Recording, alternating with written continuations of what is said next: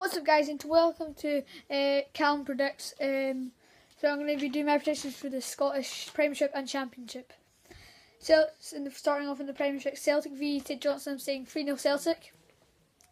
Kilmarnock v Dundee, 1-0 Kilmarnock.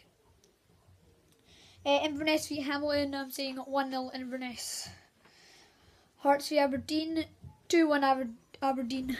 Okay. Partick Thistle v Rangers. I'm saying 2 0 Rangers. Uh, Motherwell v Ross County. I'm saying 1 0 Motherwell. Dumbarton v Falkirk. Uh, in the cha- now moving into the championship, um, Dumbarton v Falkirk 2 0 Falkirk. Hibs v St Mirren. Uh, 4 2 Hibs. Uh, Morton v Dundee. I'm saying 1 0 Morton. Queen of the South v Dunfermline, I'm saying 1 0 Dunfermline. And Raith Rovers v Ayr, I'm saying 1 all. Thank you guys for watching this video. Be sure to comment, like, and subscribe. And see you guys in the next one. Goodbye. I need to work on when I end videos. Like, seriously, guys. I always go, and I'm like,